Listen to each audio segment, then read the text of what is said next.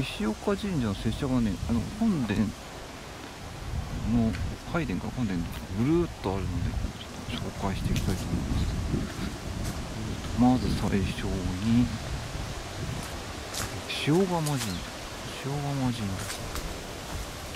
それから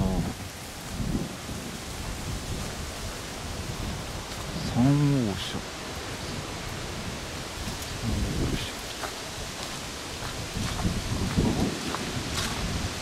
えっと桜木桜木神社そこも祠な。んですがここちょっとわかんない。ですさすがにちょっとな。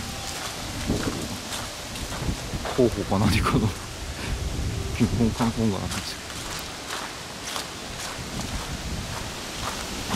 こっちはなんか狛犬さんが面白い顔する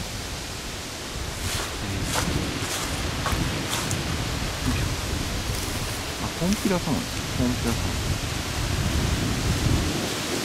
で、隣がいない。ちょっとまだいっぱいあるので、パート2で。この小マさん結構 面白いからす